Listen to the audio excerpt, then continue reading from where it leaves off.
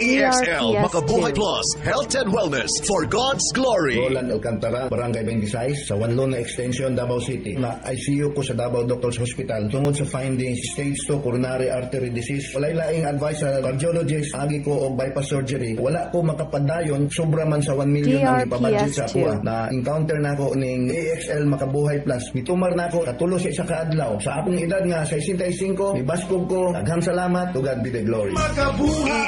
EXL Makabuhay Plus Dietary Supplement. Mahalagang paalala, ang produktong ito ay hindi gamot at hindi dapat gamitin paggamot sa anumang uri ng sakit.